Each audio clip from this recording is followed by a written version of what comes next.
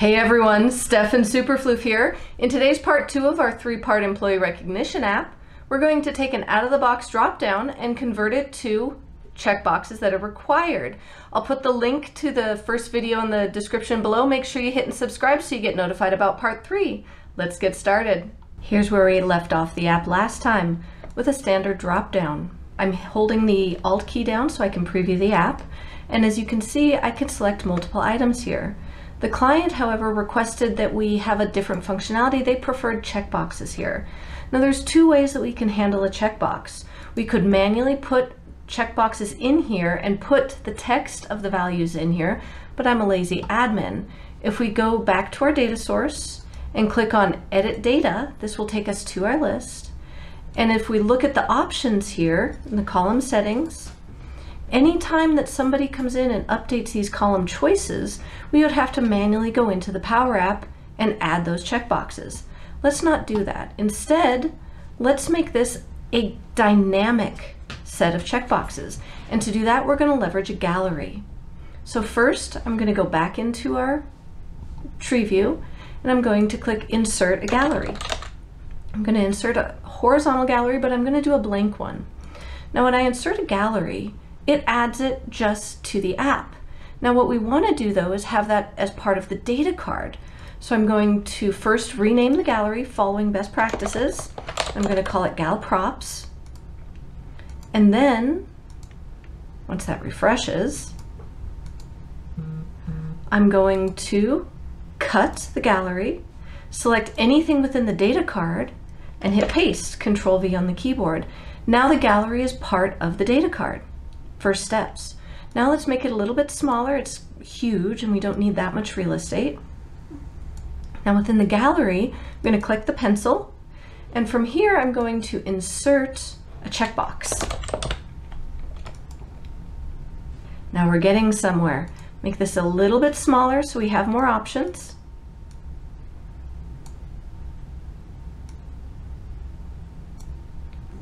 Now if we click on the drop down itself, we want to copy the items from here and we want to place that within the gal props items. So we're going to go back to the gallery. We could, if this hadn't been selected, select items.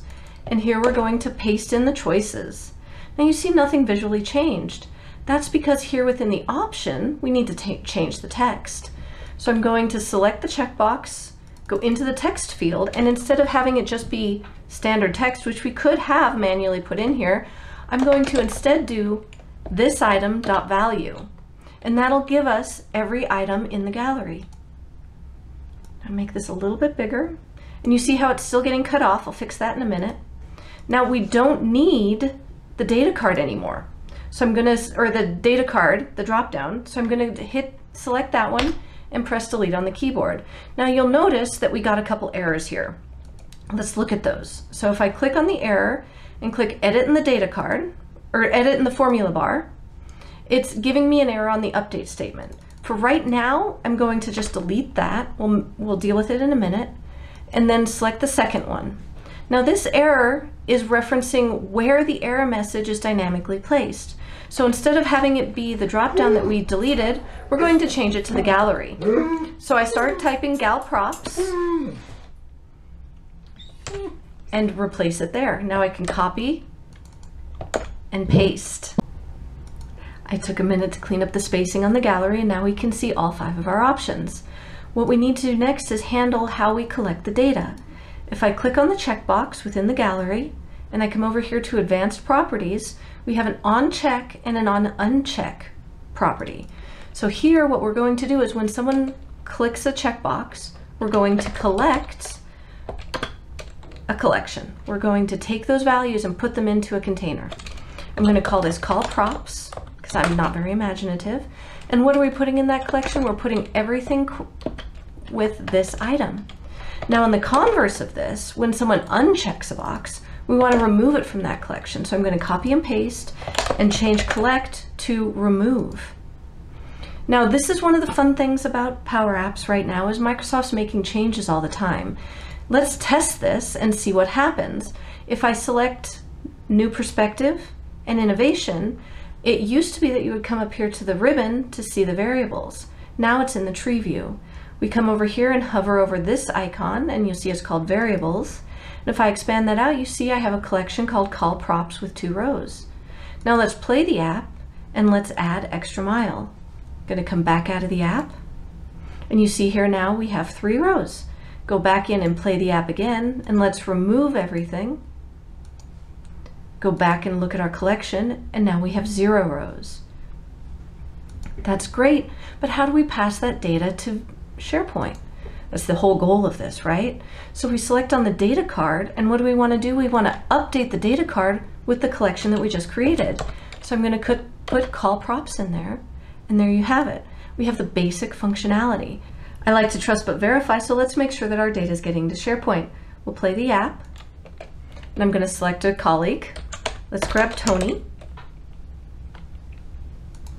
Grab a couple of options here. Let's grab these three, enter some text, hit submit.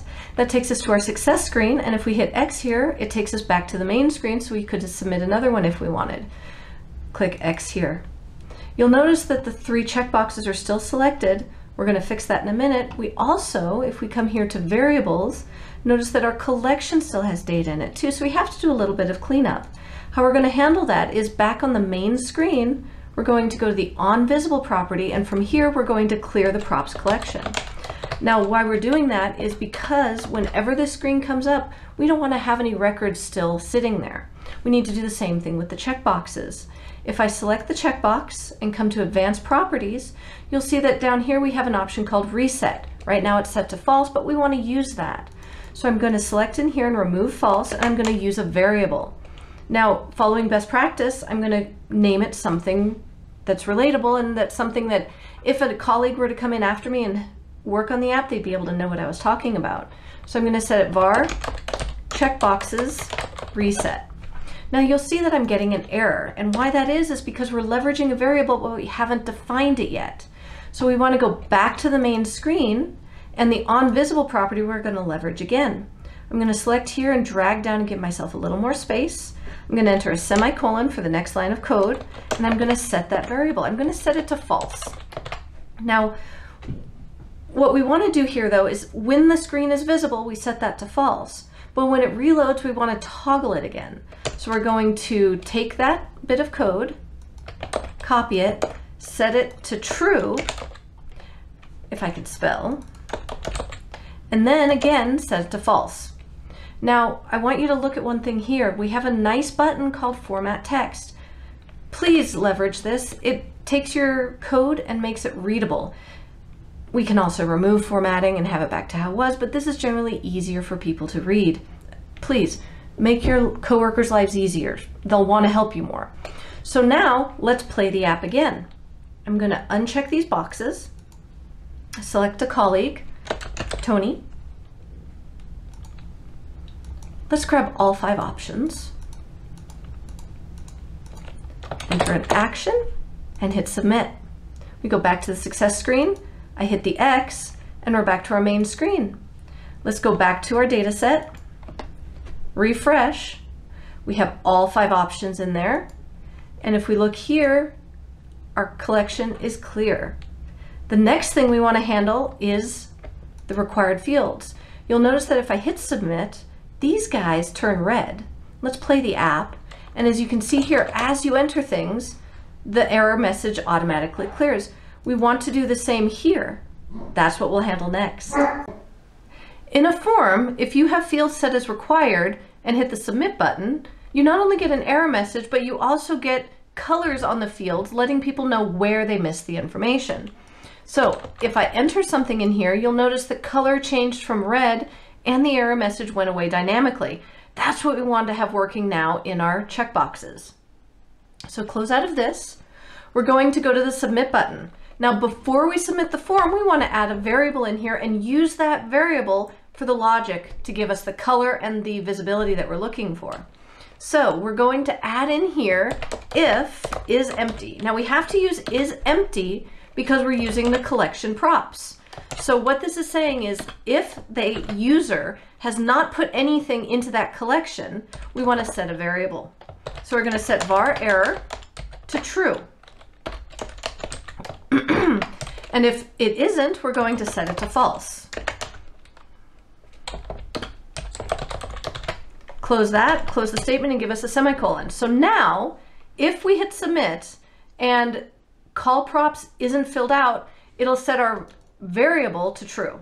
Now we're going to use that variable for the error message as well as the color.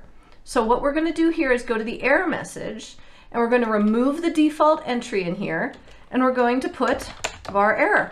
So if var error is true, then show the message. But we also and call props, whoops, and is empty, call props. So now we are covering both our bases. If someone hits submit and there's nothing there and props is empty, then show that very the error message. So if I hit submit now, you see the error message pops up. We're going to use that error message to give us the coloring here that we're looking for. So if we select the checkbox, we come to advanced, we have color and checkbox border color. We're going to select color, come up here and cut out the value. So what we're going to do here is say if um, error message 2, which is the error message for this card, if it's visible, sorry, I coughed and nobody wants to listen to that. So if the error message is visible, then we want to make the text red. It used to be that you could just type in red. Microsoft has made a change, so now we have to do color.red. And if it's not, paste in the RGB that was there before. So now we're starting to get there. We can take this same code and enter it in the checkbox color as well, take out what's in there. Now, as we enter things, you'll see the error message goes away and the text color changes exactly the functionality that we wanted. But wait, there's more. Hit subscribe below so that you get notified when we go into part three of our employee recognition app.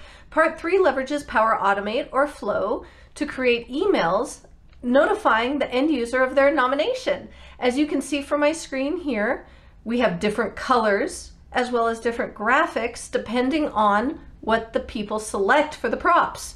We'll get into all of the conditional logic, how to embed images, and use HTML for the email formatting. Again, hit subscribe. Part three is coming soon.